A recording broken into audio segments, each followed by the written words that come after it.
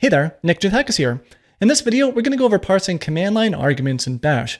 We're going to go over how to set up required positional arguments, as well as required and optional command line flags with and without a value, basically what you see here. You can see I ran the script with a couple of positional arguments, and then interest over here has a value. And then there's also another optional flag that we can set with no value, which is cool. Now, I don't know if I'm cool or not, but if I do set it, then the script is going to tell me I am. Otherwise, I'm not. So this will give you the fundamentals of how you can start writing your own shell scripts that will accept various forms of input. And by the way, the script is a little bit long, you know, uh, around 100 lines of code here. So I did code it up beforehand just because going over all this on video line by line while typing it will take quite some time here. So I'm trying to respect both of our time here, uh, mainly yours. But in this case, yeah, let's uh, roll over this whole script and we're going to start breaking it apart and kind of seeing how it partially works. So you'll be able to walk away after this video being able to develop this type of script on your own. Uh, the very first thing that I'd like to do though, before I start parsing input here is to define basically the contract of the script. You know, there are inputs and there are outputs. So I like to have a little usage menu here, which is going to echo out all of the information here. And, uh, you know, in this case, I have a demo script here. And if I call this uh, with the help menu, then it is going to print out the usage menu that we see here, you know, exited successfully, uh, no errors, etc. But we can see here dot slash demo, that is the name of the script. And, you know, in a shell script, you can use dollar sign zero to get access to the name of the script here. And that's also going to, you know, provide the full path here if you called it with a path. So yeah, the usage of this script is, you know, it takes a name and a country, and, and these are the positional arguments. It also takes a required flag of interest, where the interest could be either, you know, a single interest if you have one, or it's going to be a comma separated list. Uh, we're not going to deal with parsing out those commas in this video, although I did make a video in the past on how you can split strings in Bash. You may want to check that one out. I'll leave a card for that if you do. And then after that, uh, we have an optional flag here, which is cool. Uh, that's denoted here with the square brackets. That's a pretty standard way just to say like, hey, by the way, you know, you could put this flag here if you want, but it's not required. And then in this case too, I put the brackets here because technically you can have just one interest instead of multiple. And then also, you know, the script supports being able to pass in different variants of these, of these flags, the short form as well as the long form. I've Done videos about that one in the past. You may want to check that one out. And then the output over here, you know, just lets us know the name, the country, you know, the interest and cool, yes or no, true or false basically here. So when we go back to running the script over here, the normal way that we did before, then we can see the output that we get here when we supplied in some values here for the name, the country, you know, interest and being cool or not. And then we have the main function here, and the main function is going to go over, uh, yeah, all the work here to make things work. And that's being called down here on the bottom with dollar sign at. I think before we go any further in this video, may make, uh, I don't know, sense to explain how that works just very briefly here. So if I do dollar sign at and I run the script, then it is going to give us a list of all the arguments passed into the script here. And also just to be super explicit here, I'll put in dollar sign zero just so we can see that at the same time. Um, we can see the name of the script here, and then all of the arguments being passed in. So we have Nick, US, all the interests, and cool, and all this other stuff. This is going to be very important once we start looking at this loop here uh, in a second here. But yeah, I just wanted to clear that up, that uh, dollar sign at a complete list of all the arguments being passed in. And this main function, I do, all I do here is set up a couple of different variables. These are the variables that, uh, you know, our script can do whatever. You know, in this case, a script, uh, if I go into the bottom here, we're really just echoing out the name, the country, and if it's cool or not. And we'll get into details about that in a bit. But yeah, you know, you may want to call external functions here if your script is a little bit bigger than just echoing something out. Uh, that's up to you. But yeah, we just set up things here and we'll go over what this position is in a second here, or, you know, once we get a little bit later into this loop here. And then we also define our flag ar arguments too. So in this case, cool defaults to false. You know, that's an optional one. But since it's optional, we need to default to a reasonable reasonable value here, which is false in this case. And then interest, yeah, it's just uh, an, an empty unset variable. It's up to us to fill that out, or it's up to the user to fill that out when they actually call this. Because if you do call this incorrectly, correctly where you do not put any value in there. Uh, this is also going to be ambiguous, so let me just move the cool somewhere else. Uh, we can see this is going to exit with, uh, you know, in this case, dollar sign one here because, uh, or it exited one because, you know, the script is called incorrectly. Can you still see that? Yes, I think so. But in this case, yeah, it says interest must have a value, and then it shows you how to actually call the script. Uh, we'll get to that how, that how that works in a second, though. But yeah, let's get into the main like aspect of how you can actually set these things up. And that's all starting with this while loop here. And this while loop is going to continue looping while we have arguments to parse. And you know, we we echoed out dollar sign at before, and we saw that was like all the different arguments here. And dollar sign uh, number here. Well, let me actually just re-echo this dollar sign uh, like this, and then we'll do dollar sign at. It's going to give us the count of the number of arguments that we have. So let me go back to the working example here. We can see uh, we actually have five. So in this case, we have five. Why? Because Nick is one, US is two, interest is three, four is the values for interest, very important distinction there, and then five is cool. Uh, so we have a number of five total. So now that we have uh, a number here, you know, while five is greater than zero. So basically this loop is going to continue running until it actually reaches zero, which kind of is foreshadowing that we are actually going to take this list of arguments and like reduce them in every single loop. So the first time it goes through, there's going to be five arguments, then there's going to be four, then there's going to be three or two or one, and then it's eventually going to hit zero, and then we're going to be like, okay, cool, the, the looping is done, and you know everything is set up and we're good. Uh, but yeah, that, that's generally how it works. So the first iteration of the loop is going to go through and it is going to go and check what is the value of the actual arguments uh, that was passed in. In this case, dollar sign one is going to give us Nick in this case in the first uh, argument. So let me go back to our little uh, cheat codes over here, which is not cheat codes, but I don't know. It's almost crazy how just like seeing how things work feels like it's a cheat code, right?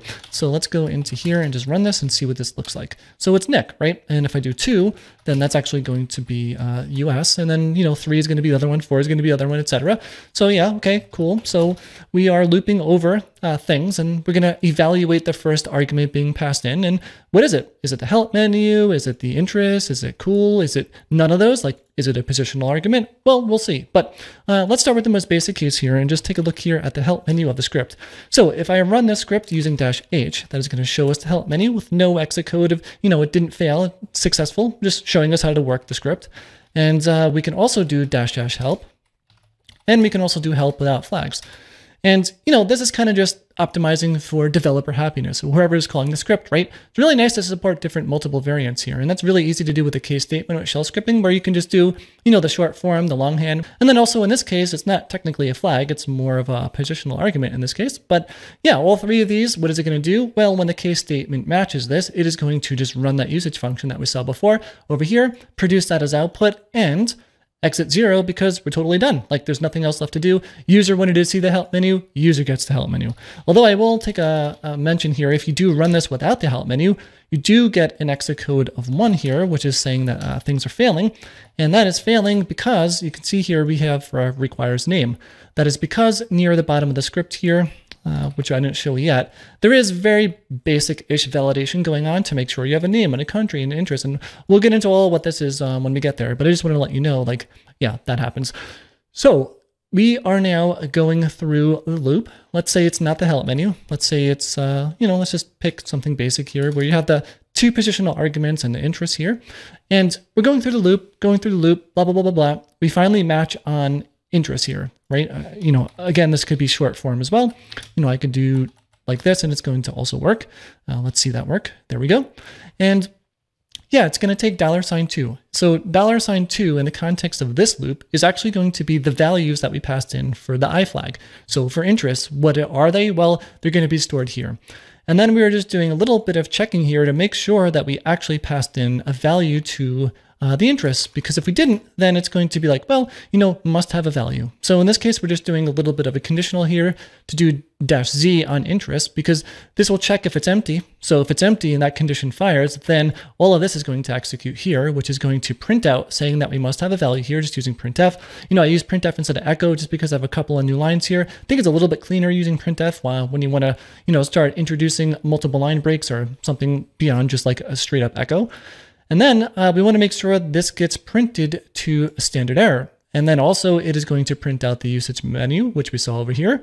And then finally, just going to exit the script with one. You know, we can choose to use a number that's not one, like eight or two or 28 or whatever you want. So basically something that's not zero. So the user knows that the script was incorrectly called because in this case, it was incorrectly called. Uh, there was no value there for that. And then, well, then we shift to. So that starts to get uh, kind of interesting. So let's go back to a working example over here. We'll just keep it down to here without the cool, just so it's a little bit less confusing. So shift two is actually going to pop the first two elements off that dollar sign at that we saw before. And that's our reducer of, you know, how we eventually get this count down to a lesser number. Because once we find a match here on the interest one, well, we need to shift it by two because the first, uh, well, shift also, by the way, works without putting in any arguments, and it's going to do shift one.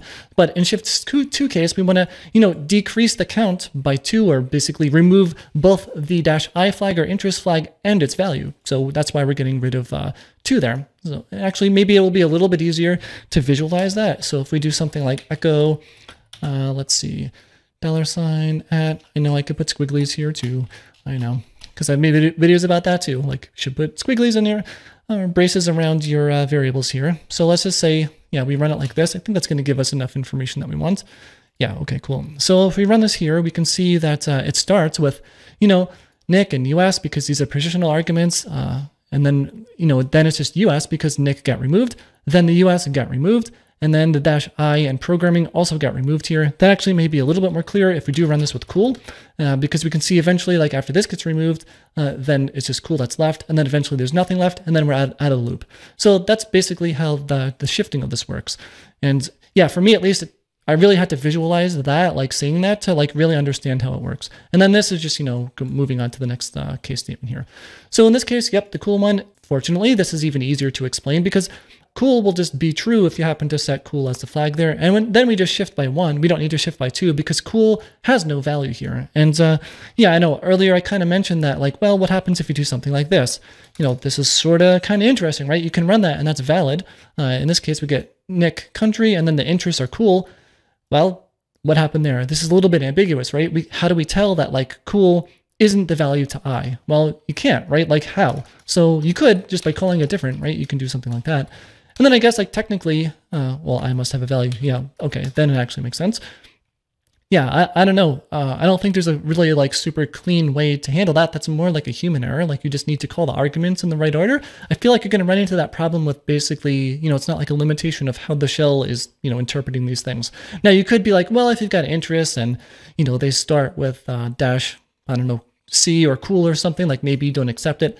I don't know, but if someone's like interest is that, like, I, I don't know, that's starting to get way beyond the, the scope of this video, but yeah. So that handles all the different flags that we can actually pass in, right? Dash I or dash C or cool or whatever you want. Then we need to go to the match here where, well, it didn't match any of this. You know, it's not the help menu, it's not the interest, it's not cool. Like maybe it's Nick, maybe it's US. You know, it's one of the positional arguments. So the dollar or the star over here, yeah, we've handled all of our flags. Now it's on to the position, positional args, basically everything else. So earlier in the script, I did set position here to, uh, where did I set that? Yeah, to position zero. So that's the beginning of that. And then it's going to run another case statement inside of here and be like, well, if it's position zero, then uh, yeah, set the name here to be uh, the first argument here, which is going to be either Nick or Joe or Jim or Alice or whatever your name happens to be. And then we're actually going to set the position to something other than zero. Basically, we need to increment it uh, up by one here. And then we just shift. So again, like we're going to be reading the name Nick out, just like we saw here, right? All these were here. Eventually, Nick is going to be removed, then US is going to be removed, then cool is going to be removed, and then, yeah, it just runs to the end here. Um, but that's basically how that works there. And then, you know, the country is, is very similar to uh, what we just saw here. Um, so again, just to be super clear, like you can put these things in a different order in the sense that they can exist down here, like Nick and US, but you can't just mix and match. Like you can't put US Nick. I mean, you can, but then the script is going to think that your actual name is US and the country is Nick. Uh, I'm not a country. Um, but yeah, so we need to increment those positions like that. And then eventually you can also call the script here too, like what, you know, incorrectly here, unknown argument what, because yeah, in this case, our script only takes a name and a country, but you're trying to pass in multiple things to the script, and it doesn't really know what to do with this argument. You know, this is really user specific up to you. Like, how do you want your script to handle that? In this case, I just wanted the unknown argument to be passed in to be real explicit on, you know, how you should be calling the script, and then also it prints to standard error. And then we can see it also prints the uh, usage menu menu to standard error, and then it exits one because yeah, the script is called um, you know in a way that's not acceptable based on my criteria here. So we have all of that set up there. And uh, eventually, you know, we reduce down to zero arguments left and all the position arguments are set up, all the flags are set up, and now it's time to start validating the things.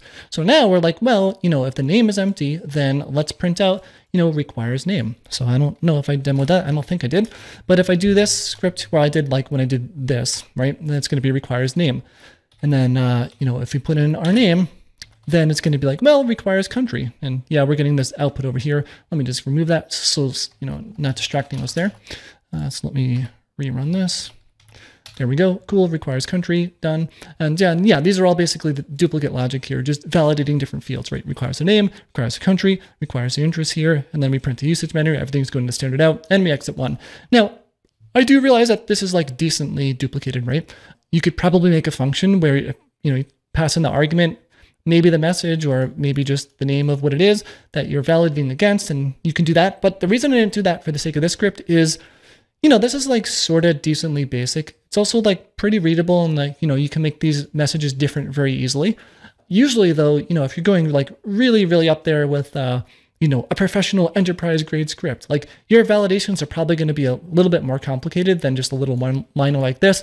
And like each argument might be able to be validated quite a bit differently. So where I'm going at with this one is like, yeah, you could extract this out to a function, and if it works for you to do that, then do it. But oftentimes your validation rules are going to be a little bit different depending on what types of arguments that you're dealing with.